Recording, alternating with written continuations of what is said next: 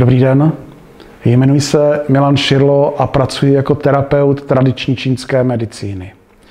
Jsem také zakladatelem značek Mykomedika, vitální houby a Yao Medica, eh, tinktury z čínských bylinek.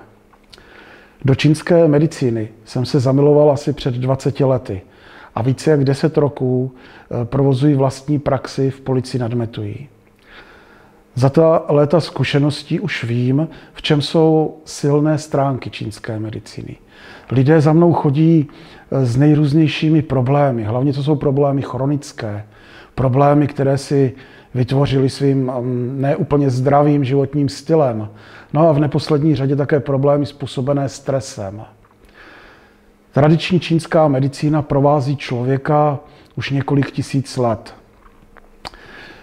A bylinky, houby, akupunktura, masáže, to jsou všechno prostředky a metody, které dokáží člověku navrátit mm, ztracenou energii, ztracenou vitalitu.